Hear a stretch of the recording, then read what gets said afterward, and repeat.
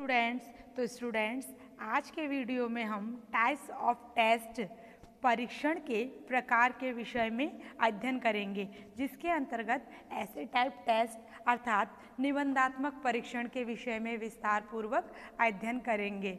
और इसके अंतर्गत हम निबंधात्मक परीक्षण की परिभाषा, परीक्षण के गुण, परीक्षण के दोष, उसकी विशेषताएँ और उन दोषों को दूर करने हेतु जो सुझाव है, उनके बारे में हम क्या करेंगे? अध्ययन करेंगे।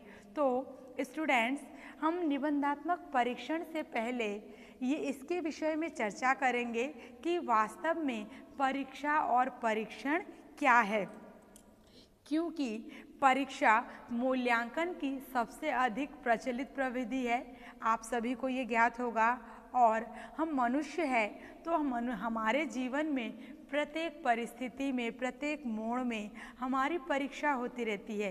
पर अगर हम शिक्षा की बात करें तो शिक्षा के क्षेत्र में परीक्षा का एक विशेष महत्व होता है होता है ना?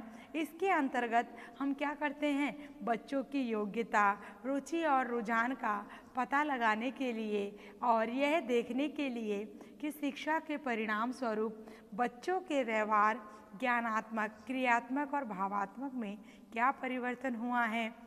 हम बच्चों से मौखिक अथवा लिखित रूप में कुछ प्रश्न पूछते हैं और इन प्रश्नों के उत्तरों के आधार पर ही बच्चों की रुचि, रुझान, योग्यता और व्यवहार में होने वाले परिवर्तनों की जाँच करते हैं। वास्तव में कौशलों की जाँच करने के लिए हम बालकों से जो कार्य कराते हैं ना, उसी विधि को क्या कहा जाता है? उसी विधि को परीक्षा कहा जाता है। लेकिन हम इसके लिए जो पाश्चात्य देशों की प्रणाली है, उसका अनुकरण करते हैं कि पाश्चात्य देशों में आज इस क्रिया के लिए प्राय परीक्षण, टेस्टिंग शब्द का प्रयोग किया जाता है। कुछ विद्वान परीक्षा और परीक्षण में थोड़ा अंतर समझने की भूल करते हैं। उनका कहना है कि परीक्षा बच्चों की शैक्षिक योग्यता के मापन तक ही सीमित होती है और परीक्षण द्वारा बच्चों की बुद्धि और उनके व्यक्तित्व का मापन भी होता है। लेकिन वास्तविकता ये है कि इन दोनों में इस प्रकार का कोई अंतर नहीं है और आज हम इन दोनों शब्दों का प्रयोग एक ही क्रिया के लिए करते हैं। उदाहरण के लिए, बुद्धि परीक्षा अथवा बुद्धि परीक्षण का एक ही अर्थ होता है। बात दरअसल ये है कि जो पाश्चात्य देश है, उसमें आज परीक्षा, शब्द की जगह, शब्द परीक्षण से बदल दिया गया है। अर्थात परीक्षा के स्थान पर परीक्षण शब्द का प्रयोग किया जाता है और हमारे देश में वर्तमान समय में भी इसे अभी तक परीक्षा ही कहा जाता है। लेकिन जब हम लिखते हैं तो लिखने में परीक्षा और परीक्षण दोनों शब्द का ही प्रयोग करते हैं। करते हैं ना? क्योंकि हम इन दोनों शब्दों के द्वारा ही ये कार्य करते हैं कि मूल्यांकन हमें किस प्रकार से करना है, वो हम परीक्षा या फिर परीक्षण के द्वारा ही संभव कर पाते हैं। और मापन मूल्यांकन का एक आवश्यक अंग है और परीक्षा जो है वो मापन की एक विधि है, क्योंकि इसके अंतर्गत हम बालकों की रुचि, रुझान, योग्यता और व्यवहार में होने वाले परिवर्तनों का मापन केवल परीक्षा द्वारा ही कर सकते हैं। इसीलिए जो मापन है वो एक व्यापक शब्द है और जो परीक्षा है वो उनकी अनेक विधियों में से ही एक विधि है, ठीक है?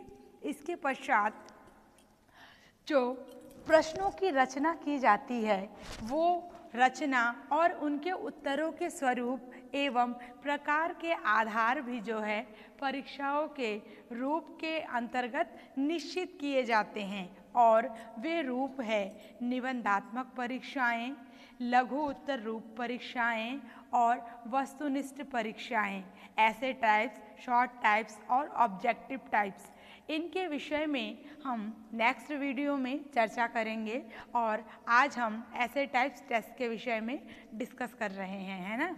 जो किसी भी परीक्षा की सफलता है, वो इन्हीं के ऊपर निर्भर करती है। इसीलिए हमें इसके बारे में विस्तृत रूप से विचार करना और इसके बारे में गहन अध्ययन करना हमारे लिए अत्यंत आवश्यक हो जाता है और इसके लिए हमें इसके बारे में जानकारी होनी भी अत्यंत आवश्यक है, क्योंकि परीक्षण या परीक्षा के द्वारा ही हम बालकों का मूल्यांकन कर सकते हैं। अब हम प्रारंभ करते हैं निबंधात्मक परीक्षण। कि निबंधात्मक परीक्षण क्या है?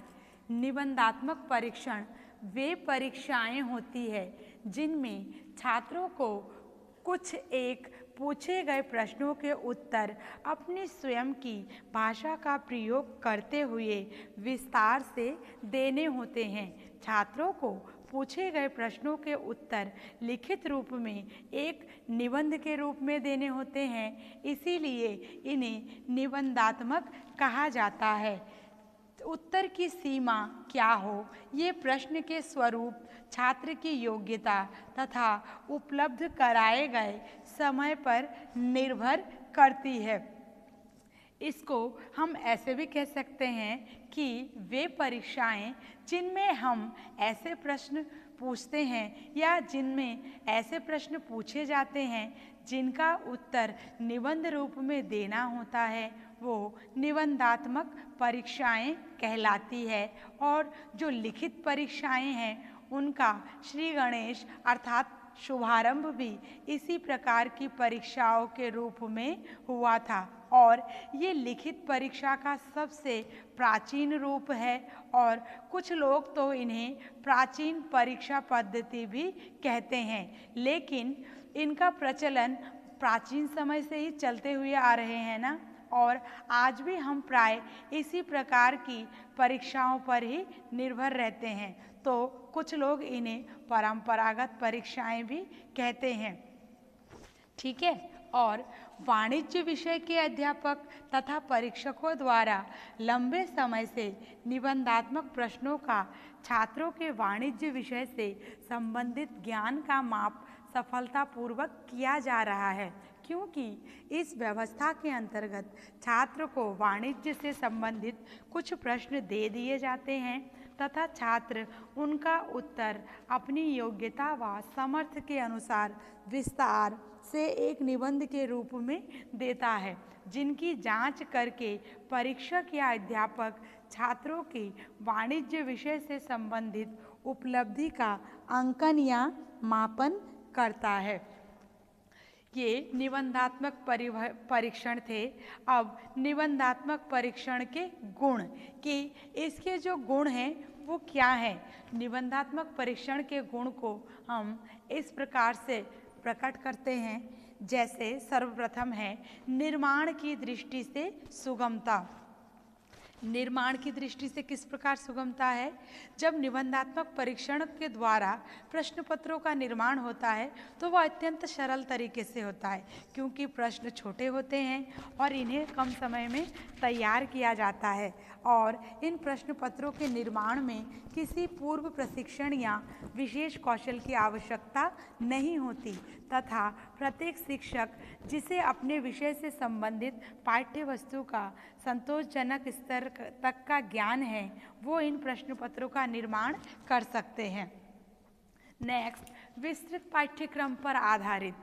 निबंधात्मक परीक्षण समस्त पाठ्यक्रम पर आधारित प्रश्न के अंतर्गत सम्मिलित होते हैं। इसमें समस्त पाठ्यक्रम पर आधारित प्रश्न पूछे जाते हैं तथा सभी अध्यायों के संबंध में विद्यार्थियों के ज्ञान तथा विकसित मानसिक योग्यता के संबंध में निर्णय लिए जा सकते हैं। इस प्रकार से निबंधात्मक परीक्षण विस्तृत पाठ्यक्रम के मूल्यांकन में सहायक होते हैं। नेक्स्ट विशिष्ट मानसिक योग्यता की जाँच।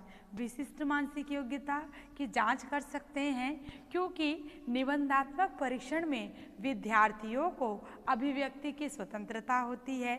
इसीलिए इनके द्वारा विशिष्ट योग्यताएँ जैसे तर्क, अभिव्यंजना, आलोचनात्मक चिंतन आदि का मापन भी संभव होता है।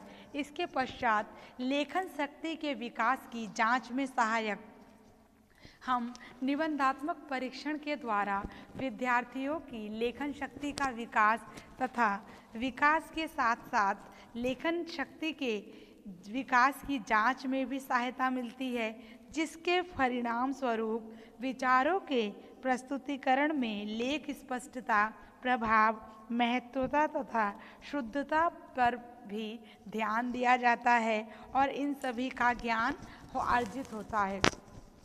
इसके पश्चात भावों का संगठन, हम निबंधात्मक परीक्षण के माध्यम से तथ्यों और सूचनाओं को दिशा प्रदान करने की क्षमता प्रदान कर सकते हैं तथा उन्हें उचित प्रकार से संगठित करने का भी अवसर प्रदान होता है। इसके पश्चात समय, श्रम तथा समय की बचत, इन परीक्षणों से संबंधित प्रश्न पत्रों का निर्माण कम समय में ही किया जाता है तथा इन प्रश्न पत्रों द्वारा विस्तृत पाठ्यक्रम के संबंध में एक साथ अनेक विद्यार्थियों की जाँच की जाती है और इनके अतिरिक्त मुद्रण तथा मूल्यांकन में भी कम धन खर्च करना पड़ता है। और सबसे अंत में मौलिकता का परीक्षण। निबंधात्मक परीक्षण के द्वारा हम विद्यार्थियों को अपने विचारों को मौलिक रूप देने का पर्याप्त अवसर मिलता है। अर्थात वे अपने विचारों को व्यक्त करने के समान अवसर उनको दिए जाते हैं और वो अपने विचारों द्वारा जो भी उनकी समस्याएँ हैं, उनका समाधान कर सकते हैं। और उनके विचारों को प्रगाढ़ता भी इस मौलिकता परीक्षण के द्वारा ही मिलती है। या फिर मौलिकता का जब परीक्षण होता है तो वो अपने विचारों को मौलिक रूप से व्यक्त करने के समान अवसर उनके सामने प्रस्तुत किए जाते हैं। ये निबंधात्मक परीक्षण के गुण थे। अब निबंधात्मक परीक्षाओं की विशेषताएँ।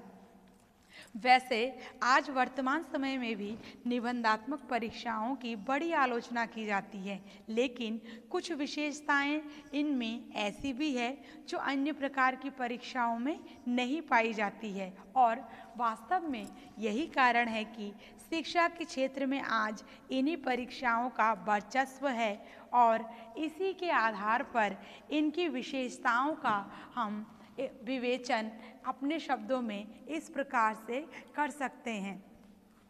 जो विशेषताएँ हैं, सर्वप्रथम व्यवहारिकता, द्वितीय ज्ञान की विस्तृत परख, तृतीय उच्च मानसिक शक्तियों का प्रयोग, चतुर्थ अभिव्यक्ति की स्वतंत्रता और पंचम भाषा शैली और अभिव्यक्ति शक्ति की परख। इसके अंतर्गत व्यवहारिकता, अब किस प्रकार से व्यवहारिकता होती है? जो एक अच्छी परीक्षा होती है, उसमें तीन गुण अवश्य होते हैं, वैधता, विश्वसनीयता और व्यवहारिकता। और निबंधात्मक परीक्षाओं में इनमें से केवल तीसरा गुण ही पाया जाता है।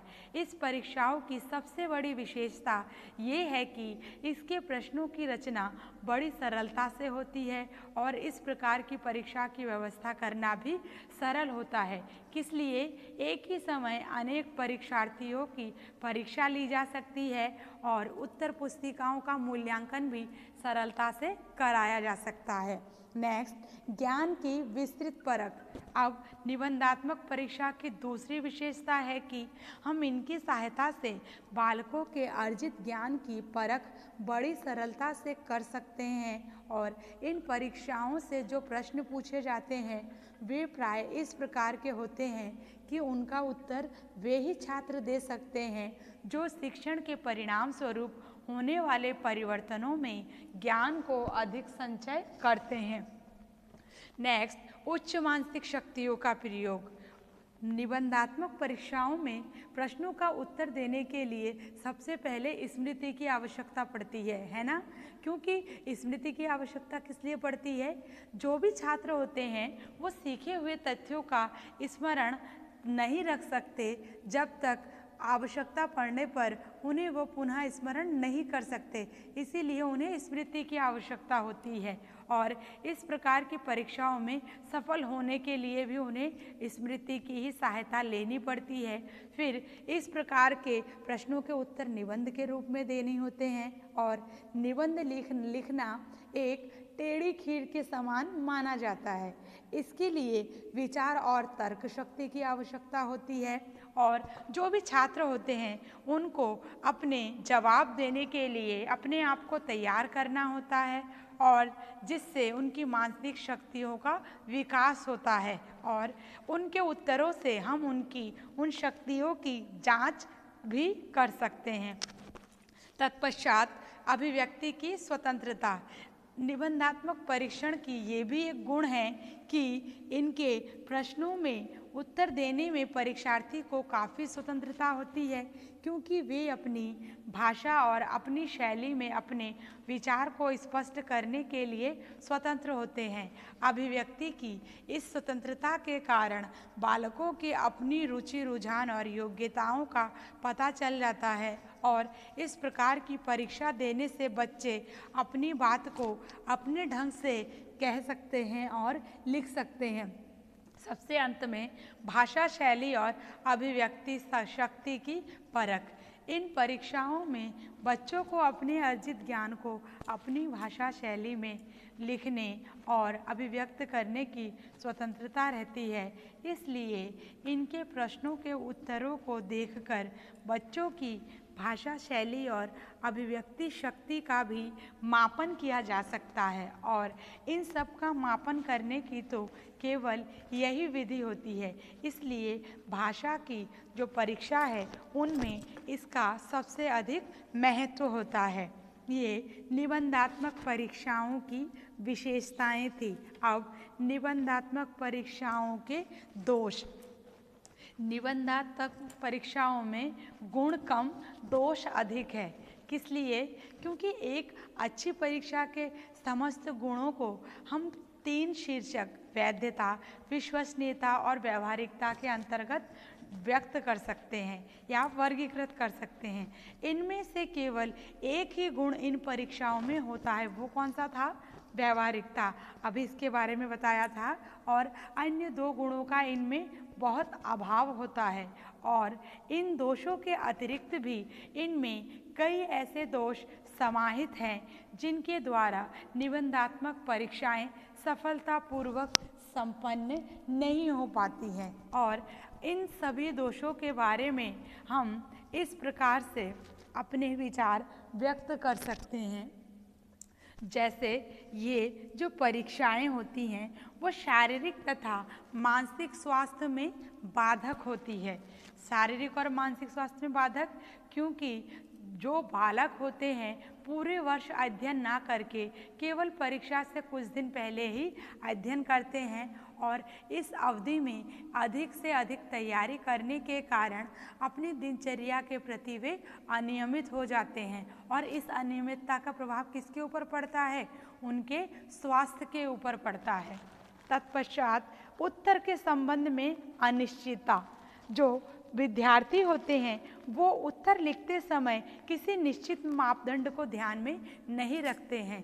प्रत्येक विद्यार्थी अपने विधि से प्रश्नों का उत्तर प्रस्तुत करते हैं।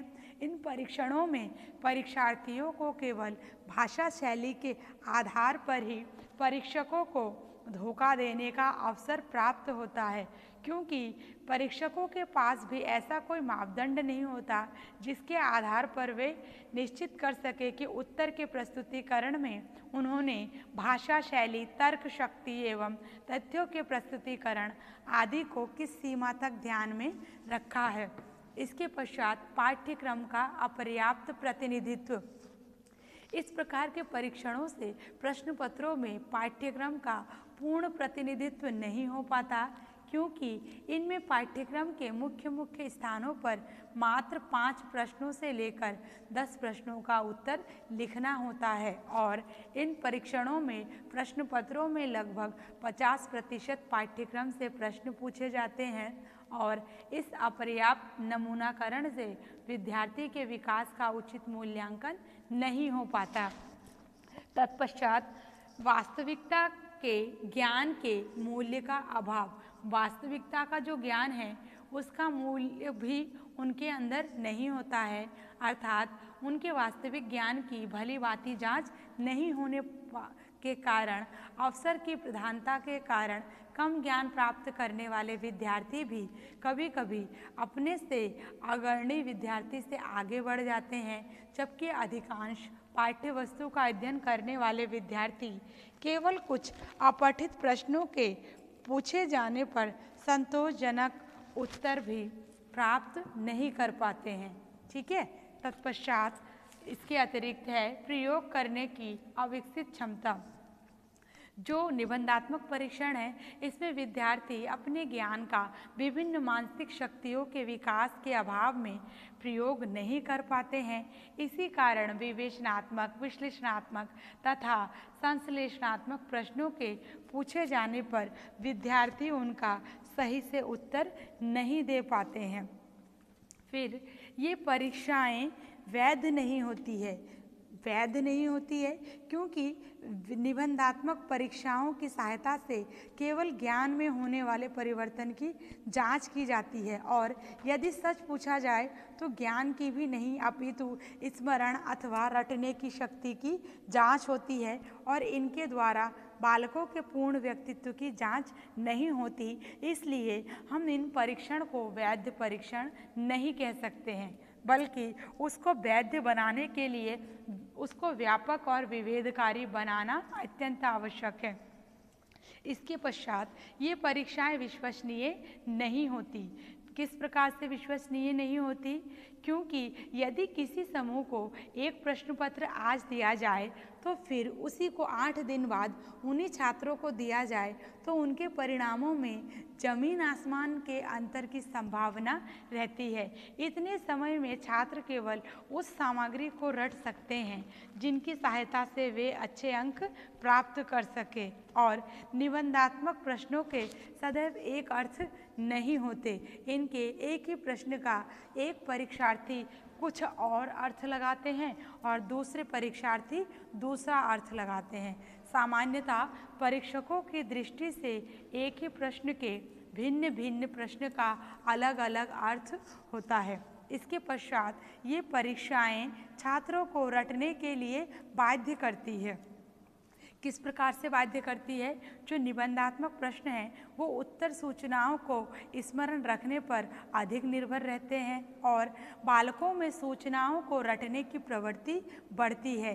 तो क्या होता है? ऐसा करने से बालक वास्तविक ज्ञान की प्राप्ति के लिए प्रोत्साहित नहीं होते हैं, वरन सूचनाएँ जो एकत्रित करते हैं, वो सिर्फ़ रटने के लिए वो एकत्रित करते हैं और उनके द्वारा ही रटने से उनके मस्तिष्क पर बड़ा बोझ होता है और पुनः स्मरण करने पर भी उससे बड़ा बोझ होता है। उसके पश्चात परीक्षाएँ अनैतिकता को प्रोत्साहन देती है। इस प्रकार जी जो परीक्षाएँ हैं, वो अनैतिकता को प्रोत्साहन देती है। किस प्रकार से? जो प्रश्न पत्र होते हैं, वो एक विशेष शैली में बनाए जाते हैं। उनका एक अपना स्वरूप होता है। अध्यापक और शिक्षार्थी दोनों ही पिछले वर्षों के प्रश्न पत्रों के आधार पर पूछे जाने वाले प्रश्नों का अंदाज़ा लगाते हैं। कुछ अध्यापक तो परीक्षा उपयोगी प्रश्न बताकर अपने अनुभव की जय बोला करते हैं और प्रश्न पत्र बनाने वाले अध्यापक तो प्राय उतना ही पढ़ाते हैं जितना कि उन्हें प्रश्न पत्र में पूछना होता है। और जो शेष के पढ़ाने के लिए जो उपयोगी पाठ्य वस्तु होते हैं, उनको पढ़ाना वे अपनी शक्ति नष्ट करना समझते हैं और इसीलिए वे उनको पढ़ाने के लिए उत्सुक नहीं रहते हैं। इसके अतिरिक्त ये भी है कि ये साधन ना होकर स्वयं में साध्य है। स्वयं में साध्य क्योंकि नियोजित शिक्षा में बच्चों को जो विभिन्न विषयों का ज्ञान कराया जाता है और उन्हें जिन विभिन्न क्रियाओं में प्रशिक्षित किया जाता है, उनका कुछ उद्देश्य अवश्य होता है। लेकिन ये परीक्षाएँ केवल ज्ञान में वृद्धि और सच पूछिए तो केवल सूचनाओं के रटने की सीमा का ही मापन करते हैं।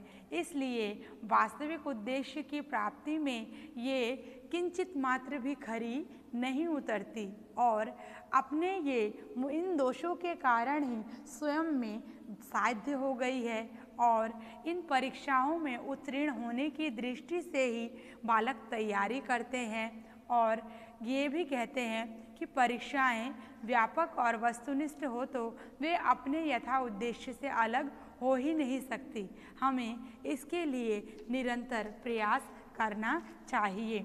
ये थे निबंधात्मक परीक्षण के दोष। अब निबंधात्मक परीक्षण के दोषों को दूर करने के लिए कुछ सुझावों के बारे में हम अध्ययन करेंगे, क्योंकि इन सुझावों को हम जब जानेंगे, तब शिक्षण में अगर इस प्रकार की दोष हमारे समक्ष आएँगे या कोई त्रुटि हमारे समक्ष प्रस्तुत होगी तो हम उनको इन सुझावों का अनुकरण करके दूर करने में हम सफल हो सकते हैं। जिसके द्वारा हम अगर परीक्षण करें और उसके अंत में मूल्यांकन करें तो उसमें हमें सफलता हासिल हो सकती है। ठीक है? तो जो सुधार है तो सुझाव है क्योंकि आ, देखा गया है ना कि इसमें पर्याप्त दोष हैं लेकिन दोष होने के पश्चात भी वर्तमान समय में भी निबंधात्मक परीक्षाएँ उपयोगी है और इनकी उपयोगिता को हमें बढ़ाने तथा इनमें व्याप्त दोषों को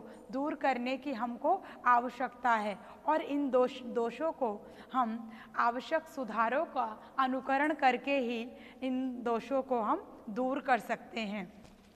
इसके अतिरिक्त हम निम्नलिखित सुझावों का अनुकरण कर सकते हैं। सबसे पहले निबंधात्मक परीक्षाओं का फैलाव बढ़ाया जाए।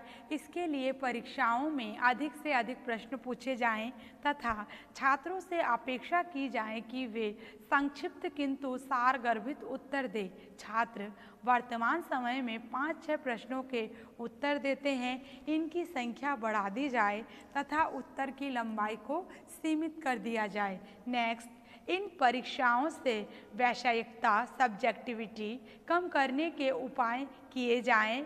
इस हेतु परीक्षकों को उत्तरों की जाँच की विस्तृत योजना दे दी जाए और परीक्षक अंकन योजना का कड़ाई से पालन करें। नेक्स्ट प्रश्न पत्र में जितने भी प्रश्न हो, छात्रों से अपेक्षा की जाए कि वह उन सभी प्रश्नों का उत्तर दे और प्रश्नों में न तो विकल्प हो और न प्रश्न चयन करने की स्वतंत्रता प्रत्येक छात्र को प्रत्येक प्रश्न का उत्तर देना हो, ऐसी व्यवस्था की जाए। तत्पश्चात प्रश्न पत्रों का निर्माण सावधानी के साथ किया जाए और प्रश्न पत्रों में केवल ज्ञानात्मक प्रकार के ही प्रश्न ना हों, अपितु अन्य उद्देश्यों से संबंधित प्रश्नों को भी उपयुक्त मात्रा में भार प्रदान किया जाए। नेक्स्ट प्रश्नों की भाषा सरल, सीधी तथा बोधगम्य हो, जिससे यह छात्र आसानी से समझ सके कि प्रश्न क्या उत्तर चाह रहे हैं। नेक्स्ट प्रश्नों के स्वरूप को बदला जाए, जिससे मूल्यांकन में वस्तुनिष्ठता लाई जा सके। नेक्स्ट लंबे उत्तर लिखने के बजाय छोटे उत्तरों को महत्व दिया जाए, साथ ही रेखा चित्र मानचित्र डायग्राम आदि बनवाने से संबंधित प्रश्नों को उपयुक्त महत्व और स्थान दिया जाए। और सबसे अंत में हम इन सुझावों का अनुकरण करें और सबसे महत्वपूर्ण है कि जब भी हम अंत में मूल्यांकन करें तो मूल्यांकन करते समय भाषा संबंधी त्रुटियों को अधिक महत्व ना दे, क्योंकि भाषा संबंधी त्रुटियों को अगर महत्व दिया जाएगा तो मूल्यांकन करने में हमारे समक्ष बाधा उत्पन्न होगी। इसीलिए इन परीक्षाओं में इन दोषों को दूर करने के लिए इन सुझावों का अनुकरण करने की हमें पर्याप्त आवश्यकता है। ठीक है? आज हमने निबंधात्मक परीक्षण के विषय में अध्ययन किया। अगली वीडियो में हम जो हमारे शॉर्ट टाइप्स टेस्ट हैं और ऑब्जेक्टिव टाइप टेस्ट हैं, उनके विषय में अध्ययन करेंगे। ओके? Thank you class.